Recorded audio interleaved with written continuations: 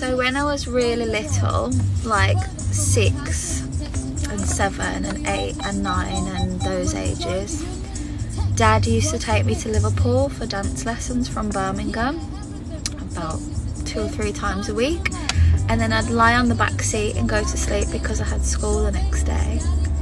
And Dad's been to watch Strictly tonight and now we're stuck on the M1 and I'm going to sleep lying down on the back seat.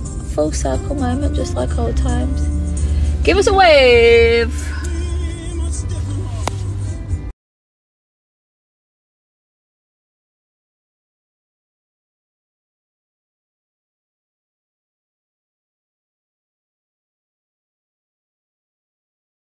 Hi guys, so something fun happened last night. I got back really late. I got back at like 3 a.m. because of the traffic on the M1. And when I got back, Max had surprised me. We have a new baby cat. We have a new baby cat. She's a rescue cat from King's Heath Cat Club. And she's called Primrosy. She's hiding in the tunnel. I'm trying to get her out. Primrosy!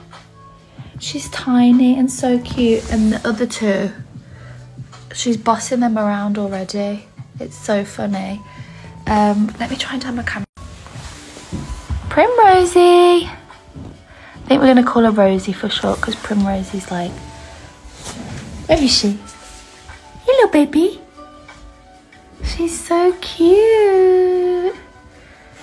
She's had a litter already, but she's only tiny. I'll try and post a picture later of her next to the other cats to show you how tiny she is. But she's so